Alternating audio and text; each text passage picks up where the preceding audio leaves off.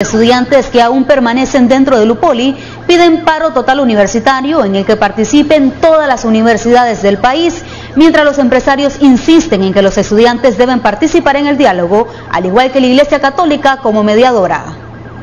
El Consejo Superior de la Empresa Privada mantiene su propuesta emitida en el último comunicado publicado el domingo 22 de abril, el que establece la inclusión de la conferencia episcopal en un diálogo nacional. El último comunicado expuesto por el COSET invita a la conferencia episcopal a ser garante del diálogo. Sin embargo, hasta hoy no se conoce cuándo ni quiénes participarán del mismo. Lo que sí es cierto es que urge su rápida ejecución.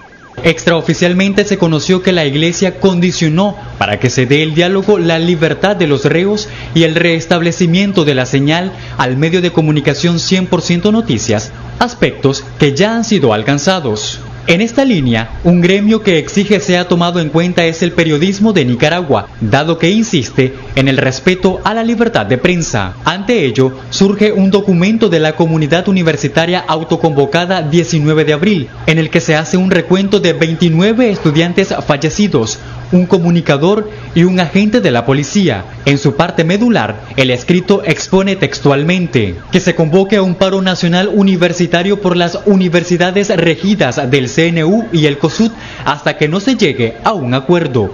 Acción 10, Yeltsin Espinosa.